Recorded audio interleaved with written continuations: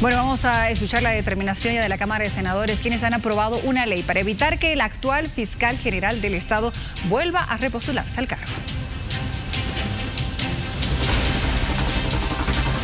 Exits Comuns no haber sido designado anteriormente como fiscal general del Estado de conformidad al artículo 228 de la Constitución Política del Estado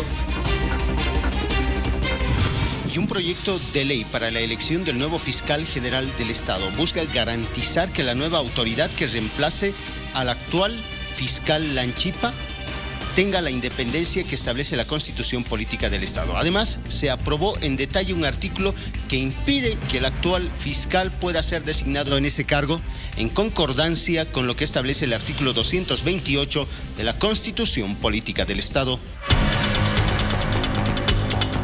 se está viendo el tema del examen oral y también un elemento central que es la presentación de un plan de trabajo. El fiscal no debe presentar un plan de trabajo en el que haga conocer cómo va a modernizar la fiscalía, cómo va a luchar contra la corrupción y un tema central, la institucionalidad. ¿no?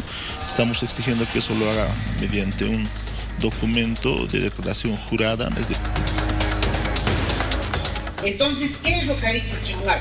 Que solo se debe poner lo que dice la Constitución. Entonces, es a eso que respondo. O sea que como está ahorita, está bien y no va a haber problema de que puedan demandarnos de inconstitucional. Juan Lanchipa fue designado en el cargo el 23 de octubre del año 2018 y según la Constitución su mandato concluye al término de los seis años que se cumplen este octubre de 2024 se tiene que cambiar, ¿no? porque lamentablemente la gestión de este fiscal ha sido muy, muy negativo.